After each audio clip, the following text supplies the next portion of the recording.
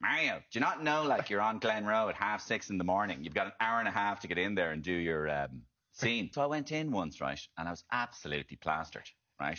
Now, absolutely plastered, but I managed to cover it up. And I'm the doctor telling Ginny and Stephen that they should ease up on the lifestyle a bit. Right? And I'm completely twisted, right? And I went again, look back on the video a month later, because it came out a month later. And I went, is there any evidence at all that I'm that I'm wasted? Not a bit. Not Nothing? Bit. Nothing. No except call from the grandmother, thing. from Except- grandma? No, Go except on. one thing. What? I'm at the table, right? I'm at the table and I'm talking away, and they go to the wide shot. And the wide shot is the table, and underneath the table is my leg going like this. so I'm like, anyway, I think you should ease up on the lifestyle. And I went, Jesus, they printed it again. Look at me leg. The doctor is insane. All we need now is the hand as well to come out and go.